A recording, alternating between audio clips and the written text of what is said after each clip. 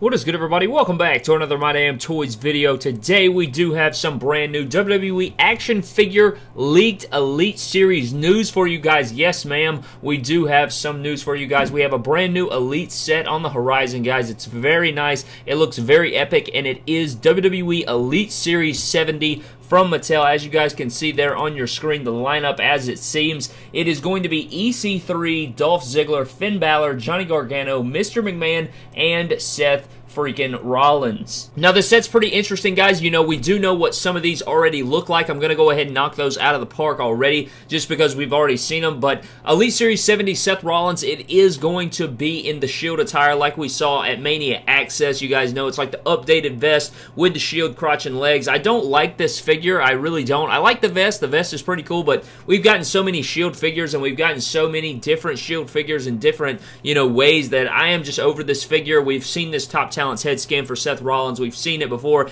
It's bare armed. I don't know why it doesn't come with gloves. Maybe they uh, are working on like some new mold or something. It would be cool to see if they did the AJ Styles arms maybe and gave him the textured gloves and interchangeable hands that way. That would be something that would be different for Seth Rollins and these updated Shield figures. But I'm not that excited for this Seth Rollins. It's just, I don't know, it's a Debbie Downer because I would like to see, you know, one of his attire. The Thanos attire is, is something I want to see. So that is uh, sort of disappointing as far as Elite Series 7 70 goes, it is going to be the Shield Seth Rollins. Up next, we do have Johnny Gargano. We also saw this at WrestleMania Access, guys. As you know, it's going to have the True Effects technology. The the prototype here in the image that we saw at Access looks fantastic. I love this this figure. It looks great. It looks absolutely great. It's the uh, red, black, white and blue attire. I think if I can, I'll pop up a picture on the screen of that attire that he wore. I can't remember what takeover it was, but it is a very nice attire. Many people have made many customs that look fantastic of this attire, and I think that Mattel will do well on it. I hope they give him the ripped up torso, though. You know, the Finn Balor, Cody Rhodes, Seth Rollins torso is what I would like to see for this figure. Hopefully, they do deliver on that,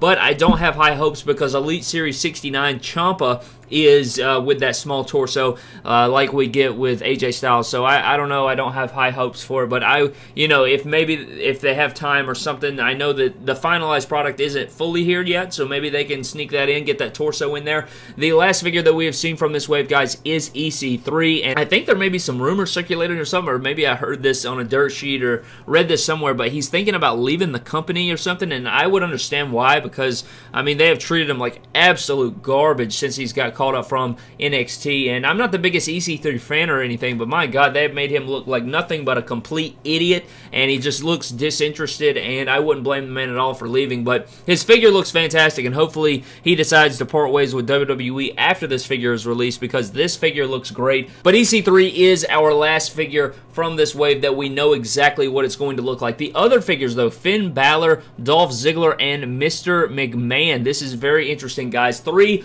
or two, I should say, not three. Vince McMahon, not not one of my favorites. But anyways, let's get into it here, guys. Dolph Ziggler, I really do not know exactly what attire we're going to get. Maybe we're going to get Extreme Rules, you know, in that Evel Knievel attire that we've seen. I, I don't know if it's been long enough from the Royal Rumble. I know he had a pretty cool zebra black and pink attire that he wore at the Royal Rumble for 2019. I feel like that would be too soon, but I don't know. They've they've pumped figures out pretty quickly beforehand. You know, the turnaround time has been sort of uh, here and there, hit and miss when it comes to you know getting attires out for certain guys but uh, this is very interesting indeed i hope that it's the i would go for the you know that Evel Knievel extreme rules attire in the blue and orange where he took on seth rollins or maybe royal rumble 2018 where he came out at number 30 and then i thought he had a chance at winning and he absolutely did not even come close to winning and then you know he got eliminated in that you know you guys can see the custom on the screen i like this attire a lot and I think that that would be a great release as well. I'm just happy we're getting a new Elite of my boy Ziggler. You know, we haven't seen one since Elite Series 48.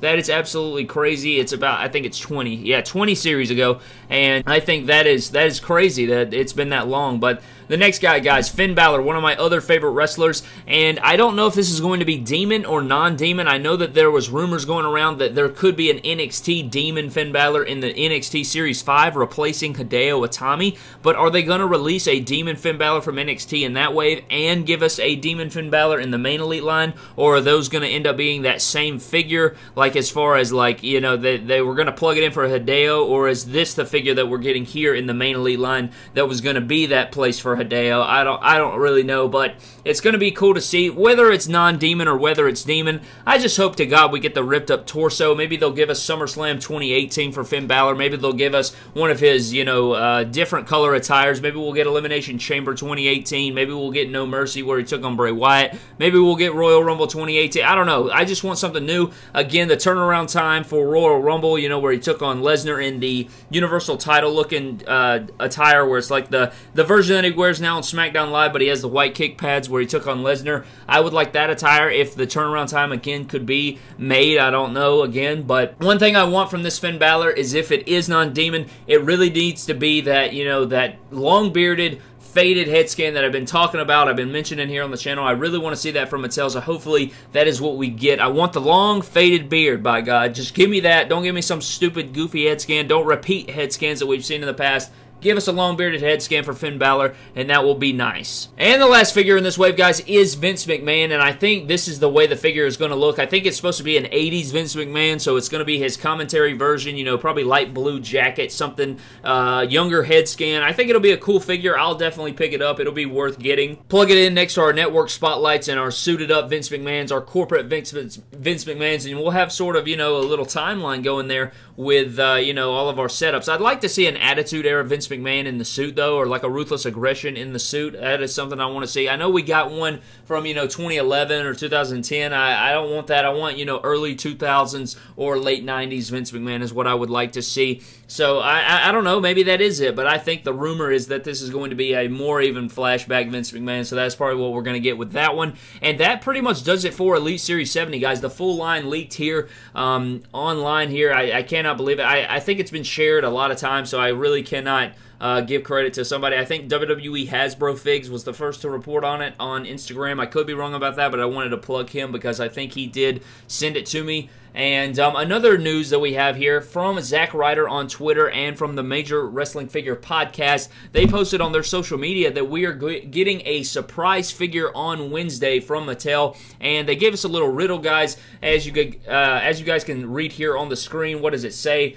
It says, uh, Hey WWE Universe, San Diego Comic Con is right around the corner. And we just got word that on June 5th, Mattel is going to reveal some huge Comic Con news that's going to make you snap. Can you guess what it is? That is going to be the riddle there. It says, uh, the this Comic Con news that's going to make you snap. And the first thing that comes to my mind, guys, is, and a lot of people are thinking the same thing, is it going to be a Comic Con uh, SDCC exclusive Seth Rollins in the Thanos attire? That is something that a lot of people are saying because, you know, Snap snap, Thanos with the snap from the movie and all that, and he wore the Thanos attire at SummerSlam, and maybe that's going to be the Comic Con exclusive. That is something. And they also put this silhouette of a figure here, and I don't think that this has anything to do with the figure. I think that this is just supposed to be, you know, like a vacant uh, like silhouette of a male superstar. I don't think it's supposed to be any you know actual silhouette of the figure itself. So um, hopefully it's Thanos, Seth Rollins. I will definitely be trying to get that. I know that the uh, the the Comic Con exclusives are going to be really really hard to get. I know that uh, from other lines like the DBZ figures that I collect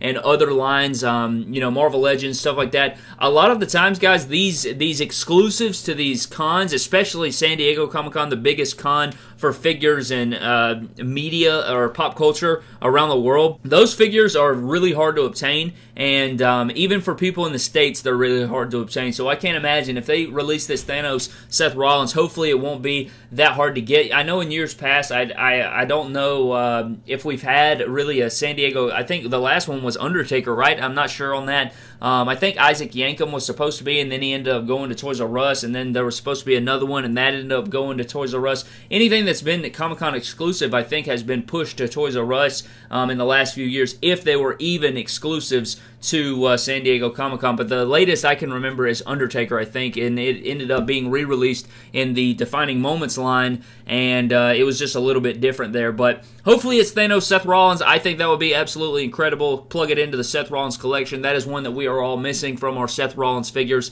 So that is definitely one that I would love to see, and um, uh, hopefully that is what it is. And if it isn't the you know the Seth Rollins, then I hope that it's something uh, nice and something that we want. I heard people guessing it could be a Kurt Angle figure. I don't know if that's because it's bald in the silhouette there, or if it's you know they they actually think that that's what it is. But that's the only thing I can think of. Some news that is going to make you snap or whatever. I don't know. That's just what I'm thinking, but. Anyways, guys, unless they give us, they're going to give us like a Gene Snitsky or Heidenreich figure, which I highly doubt. But that is pretty much all the figure news I have for you guys. Elite Series 70 is uh, is leaked here with a pretty solid lineup. I'm excited for it. I'm more excited for Elite Series 69, I think, even though my boy Finn Balor, Dolph Ziggler, and Seth Rollins are in this line. The Seth Rollins is a disappointment, and we do not yet know what Ziggler and Finn Balor will look like. But that is going to do it for this video, guys. Thank you so very much for watching. I hope you guys enjoyed the news. What do you think that San Diego Comic-Con exclusive or news or whatever the hell Mattel is going to tell us on Wednesday will be? Please let me know down in the comment section below. I would love to know your thoughts down below. But follow me on Instagram and Twitter. Subscribe to the channel for more epic WWE figure videos, and I will see you guys in the next video. Thank you.